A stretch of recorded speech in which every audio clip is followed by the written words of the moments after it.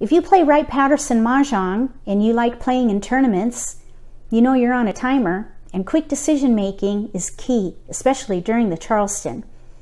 I like to do an exercise that I call Charleston Sprints that helps me practice with that decision making. If you have a set at home, give it a try yourself.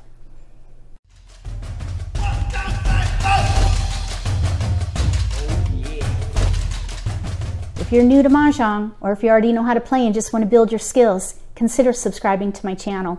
Click the bell when you do. That way, you won't miss anything. Let's do some Charleston sprints and work on building some confidence. I think if I make decisions in under two minutes, that would be a really good guideline for a, a advanced player. For intermediate, let's say three minutes, and for beginners, four minutes. And then push yourself into the other thresholds if you want to improve. So let's get 14 tiles for the dealer and we'll make the smock Charleston. We're going to roll for prevailing. I rolled an 8. If I can get those dice, we'll put up a 4 on the dice so that we know that north is prevailing. Okay, we're going to do three sprints. Laps 1, 3, and 5 will be the sprints, and then laps 2 and 4 will be setup. Here we go.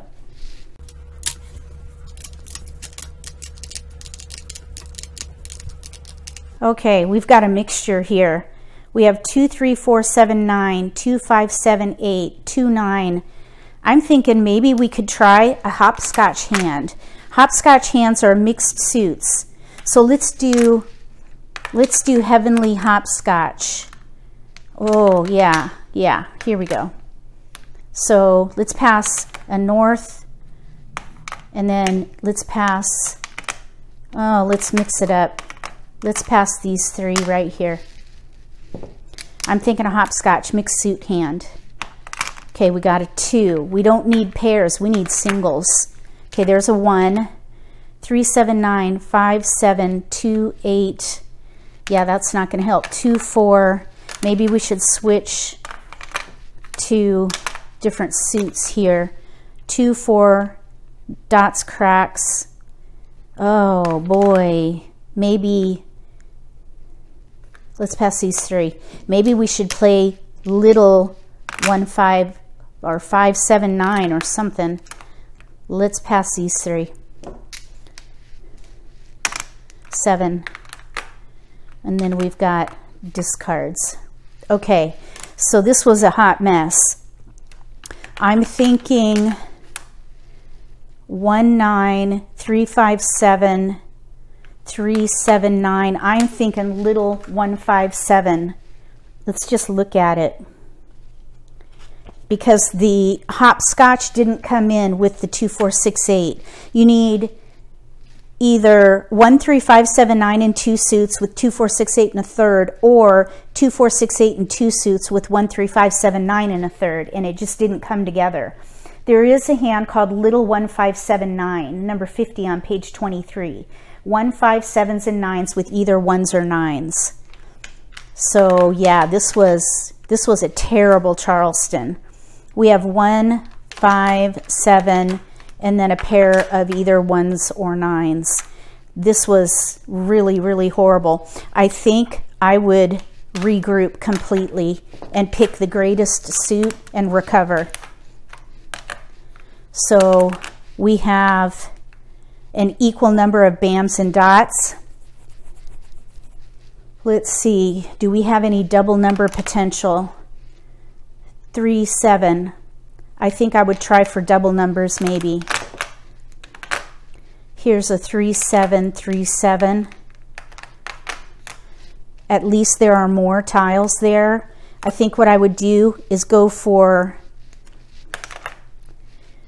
double numbers, hold the dots and the BAMs and see if drawing comes in, get rid of the ones and nines, try to recover because that mixed suit did not come in.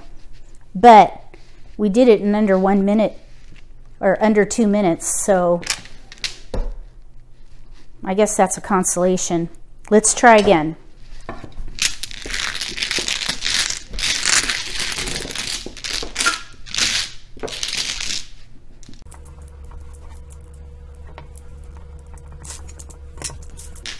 Okay, let's see if we can do better this time.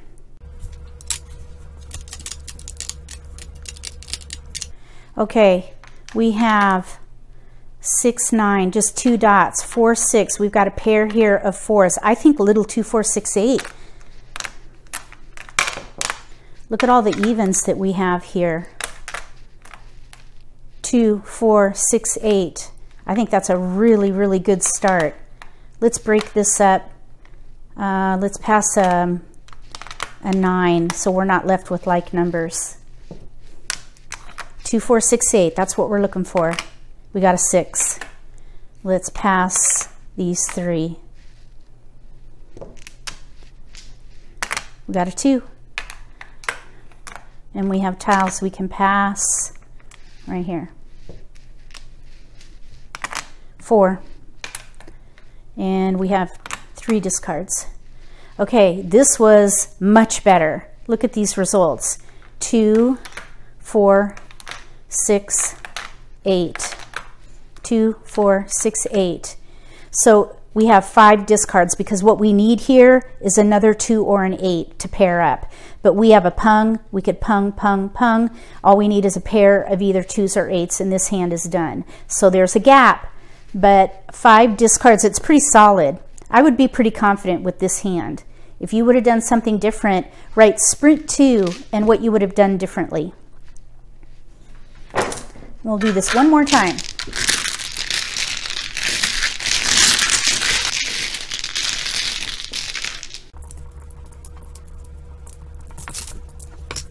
Okay, oh, let's roll. So I rolled a seven. Seven would be west. Okay, we've got a couple dragons and some winds here. And we do have bams. Oh, there's a pair of sixes. Okay, I'm thinking maybe we could play Eleanor. Four, six, seven.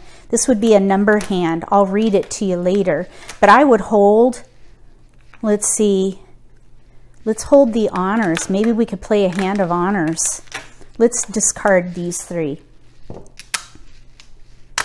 There's a dragon and a south.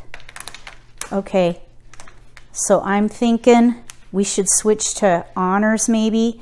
Although Susie Q, South and Green, maybe we can give up on, let's pass these three. We could always switch back to hands of honors if we do well. There's a South and a white and an eight. Uh, we don't need the eight. Let's give up the one Pass those three. Okay, pa lap. Okay, so here we have, I think it's pretty strong with Susie Q. Um, we have four, six, all we need is another seven crack and we will be set for Susie Q. I'll read that to you. So we have five discards. I think what I would do though is discard the seven BAM first and hold on to the honors because honor hands are higher score, even though Susie Q is a double limit hand. So that's a nice hand. It's on page 22, number 41. Three different numbers punged in each suit. Pung a souths with a pair of greens. We got the pung there. All we need is a pair of green. Pung, pung, pair up the seven, and that hand would be set. So that was a pretty strong result, I think. If you would have done something different, like maybe go for the honors, uh, let me know. Let's see here. Yeah, I think I made it. So sprint one, one minute, 41 seconds. Sprint two, one minute, nine seconds. Sprint three, one minute, 21. I made it. I think a couple of those were pretty, you know, bleak results though. So I think I need to practice some more. And I really would like to keep an eye out on dragons because dragons and winds, of course, are used in date hands and transitions. Those are two categories that I tend to forget about. And there are some great hands in there, especially the date hands. There are some double limit hands in there. So don't forget, if you get tiles with lots of dragons and winds, think about transitions and date hands. If you have a set at home, give this exercise a try and let me know how it goes for you. If you like the video, give me a thumbs up. If you haven't subscribed to my channel, consider subscribing. Click the bell when you do. That way you get notification for when I post new videos and you won't miss an opportunity to learn a new strategy or pick up an insight of the game that could give you an advantage at the table. Between now and the next Charleston sprints for Wright Patterson Mahjong, may all your picks be keepers.